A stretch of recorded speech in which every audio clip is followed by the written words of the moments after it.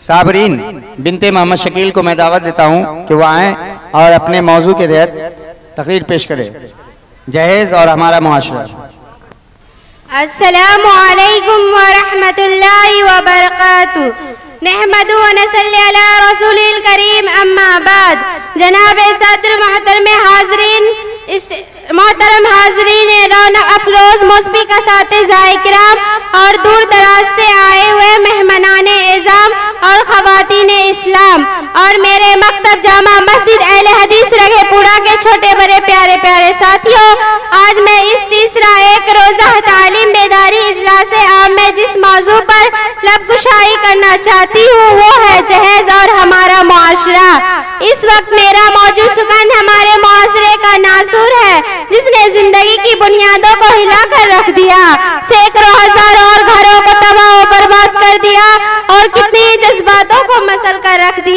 ये वही बीमारी है जिसे आप जहेज के नाम से याद करते हैं। मैंने खुतबा के बाद एक हदीस शरीफ पढ़ी है।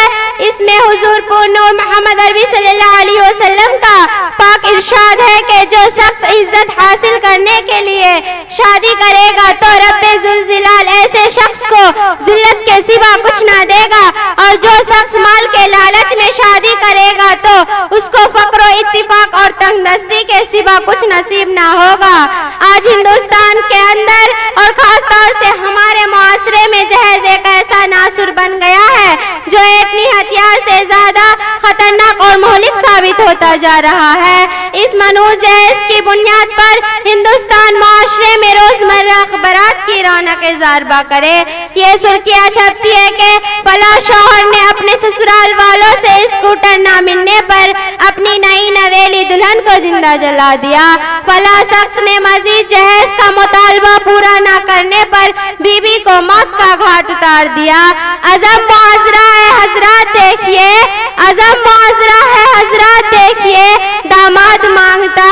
है देखिए। मुआजत सामाइन इकराम अखबारात की ये सुर्खियाँ भी गैर कौमी के बारे में नज़र आती है। मगर अफसोस, सद अफसोस के रफ्ता रफ्ता हमारे इस्लामी माशरे के अंदर भी यही वबा फैल चुकी है।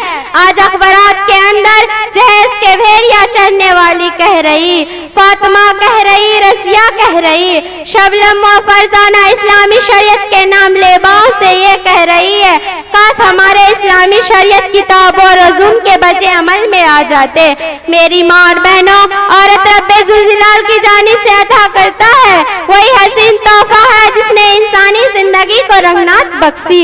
इस औरत के दम से नजारों में खूबसूरती पैदा होती है। इस मासूम कली ने हज़रत आदम सलाम की ज़िंदगी से खौफ व दहशत को दूर किया। मगर इन तमाम बातों के बावजूद जुल्म व की तारीख शाहिद है कि इस दरमियान में जितने मुजालिम बर्बाद हुए हैं, इनमें ज़्यादातर तनफिद नाजुक ही पड़ गई है। इस बेहयाई समाज ने औरत को जिस नज़र से देखा है, इतना ही नहीं काबिल मजम्मत तारीख इन दर्दनाक वाकियात से भरी पड़ी है। इस बे भरी पड़ी है। हज़रत मरियम को दुनिया वालों ने मोहतम करके जंगल की खाक छानने पर मजबूर किया तो कभी नमरूद ने अपनी बेटी को ईमान लाने की, ईमान लाने की पैदाइश में आग में डाला तो कभी अरब के जाहिल माशरे में लड़की की पैदाइश को इस कदर मकसूद तस्वुर किया कि उनको पैदा होते ही ज़िंदा दरोगर कर दिया जाता था। मेरे प्यारे भाइयों, आज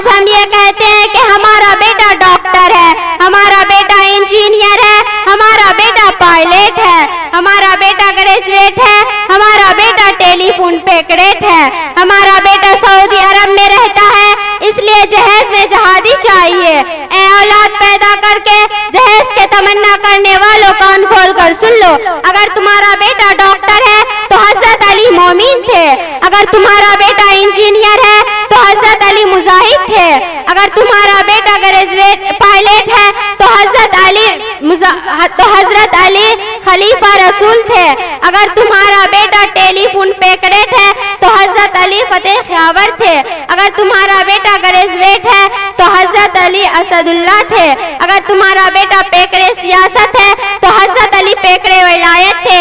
आइए हम सब इस बात का हल करते हैं कि इस जहेज जैसी रस्म को मिटाकर दम लेंगे।